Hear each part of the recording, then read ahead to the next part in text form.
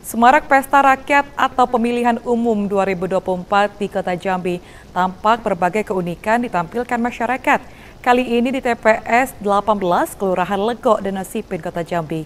Bertujuan untuk mengenalkan budaya adat Jambi sekaligus meningkatkan antusias peserta dalam memilih.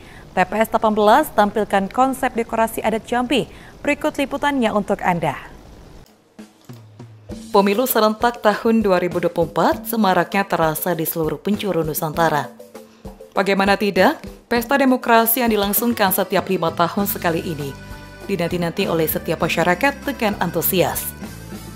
Seperti yang ada di TPS 18, Kelurahan Lego, Kecamatan Danau Kota Jambi ini, mengusung konsep adat Jambi. Adapun konsep ini berasal dari swadaya masyarakat setempat yang diinisiasi oleh Picik, merupakan tokoh adat setempat dan Ketua Himpunan Ahli Rias Pengantin Indonesia Provinsi Jambi. Menurutnya, ini telah dilakukan jauh sebelum pemilu kali ini. Ini dilakukan dengan tujuan untuk mengenalkan budaya adat Jambi dan juga untuk meningkatkan antusias peserta dalam memilih. Upaya ini menurutnya cukup efektif karena pada pemilu-pemilu sebelumnya, daftar pemilih tetap atau DPT 100% menggunakan hak pilihnya supaya masyarakat antusias untuk memilih.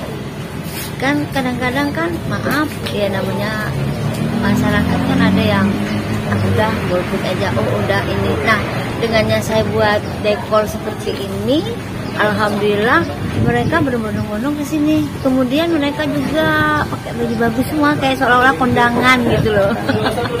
Kalau ke TPS-nya e, sama juga dengan tahun lalu tahun 2013 2019. Sementara itu, Ketua KPPS setempat mengatakan, jumlah DPT di wilayahnya pada awalnya sejumlah 167. Namun ada lima orang yang mengajukan pindah DPT sehingga total DPT saat ini 162 orang. Adapun lansia diperkirakan sebanyak 10 orang.